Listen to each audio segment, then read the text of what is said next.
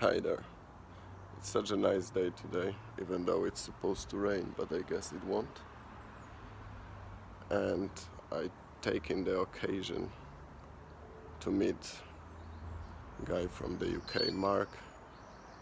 He's amazing. He recently did almost 2000 kilometers across the Ireland and we'll see how it goes. Look at them ducks.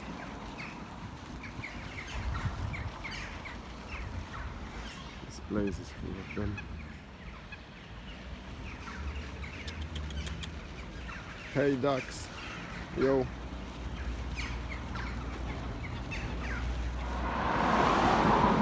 Okay, I did it past the airport, but it's really sketchy road because I went through the main road and it's full of traffic.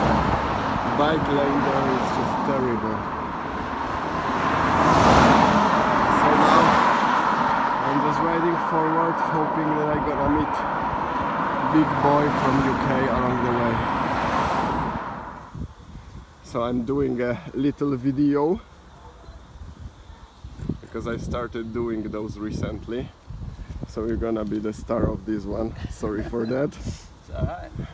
I hate having my photo taken and videos. No worries. Like photos of other people.